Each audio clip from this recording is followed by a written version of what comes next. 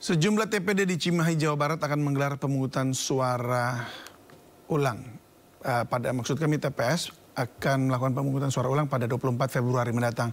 Sementara di Jawa Tengah dan Jawa Timur puluhan TPS telah selesai melakukan pemungutan suara ulang.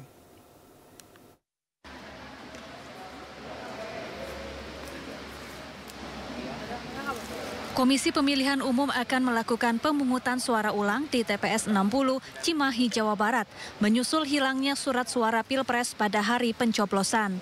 Rencananya pemungutan suara ulang TPS 60 akan digelar pada 24 Februari 2024.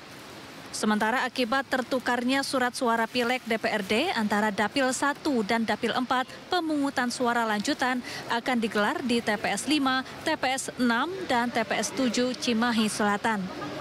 KPU dan Bawaslu Kota Cimahi meminta masyarakat untuk tetap berpartisipasi dan datang ke TPS-TPS yang menggelar pemungutan suara ulang serta lanjutan. Sebanyak 26 TPS di kabupaten kota di Jawa Tengah melakukan pemungutan suara ulang. Salah satunya yaitu TPS 4 di Desa Tanjung Sari, Kecamatan Petanahan. Pemungutan suara ulang ini dilakukan atas rekomendasi Bawaslu karena petugas KPPS di beberapa TPS dinilai tidak profesional saat hari pencoblosan. Proses pemungutan suara ulang di TPS 4 disaksikan langsung oleh Ketua Bawaslu dan dijaga ketat pihak kepolisian.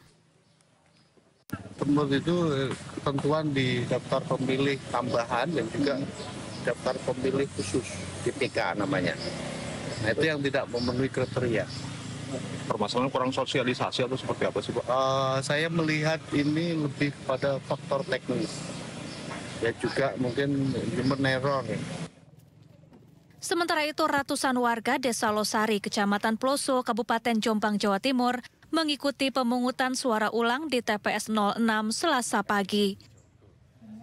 Pemungutan suara ulang dilakukan untuk surat suara Pilpres dan DPD, sementara surat suara untuk DPR RI, DPRD Provinsi, dan DPRD Kabupaten dinilai tidak bermasalah. Berdasarkan data, 235 warga terdaftar di TPS 06 Desa Losari. Namun saat hari pencoblosan terdapat 21 nama asing yang tidak terdaftar di TPS 06 ikut mencoblos surat suara Pilpres dan DPD. Hingga akhirnya KPU memutuskan untuk menggelar pemungutan suara ulang. Tim Liputan iNews melaporkan.